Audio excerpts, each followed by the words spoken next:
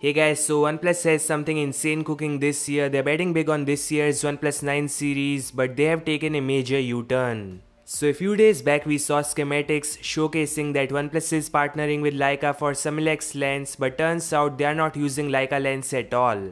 They are doing much bigger than what you think, even Huawei is not using Leica anymore, they got their own camera team for optimization, color accuracy and so did OnePlus.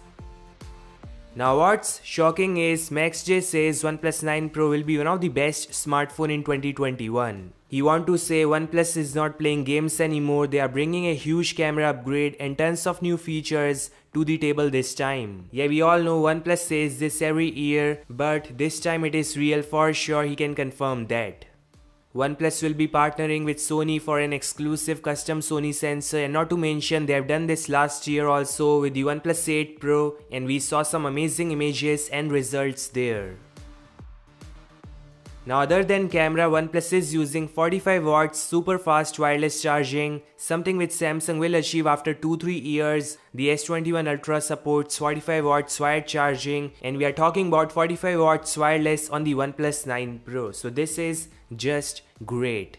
See in terms of the design, here's a comparison of OnePlus 9 Pro case versus OnePlus 8 Pro versus OnePlus 8 and you can see the size is a little smaller than the OnePlus 8 Pro and there is a rectangular design we have on the back. Yet it is a little larger than the OnePlus 8T's camera design and we are seeing same punch hole but that hole is getting smaller for sure and we are seeing similar bezels all around. The OnePlus 9 Pro is coming with curved edges, which if you have used one you will love for sure and finally as I said we have some huge design changes on the rear panel. The Qualcomm's flagship 888 is in itself is a huge upgrade. All brands have to do is make use of it. Like Snapdragon 888 got so much potential if you combine an amazing software which Oxygen OS already is, they can literally change the game. Yeah, I'm saying that I'm expecting a perfect flagship from OnePlus this time. Something which can give one-on-one -on -one competition to Samsung, Xiaomi and Apple. For those waiting for a compact smartphone like Google Pixel 5 or iPhone 12 mini, Max says we may see such kind of design in the OnePlus Nord.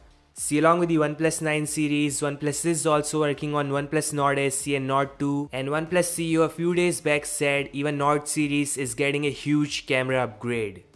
So this all guys, the hype is real, your thoughts in the comment section. And thanks so much for watching, I'll meet you guys in the next one, like subscribe and peace out.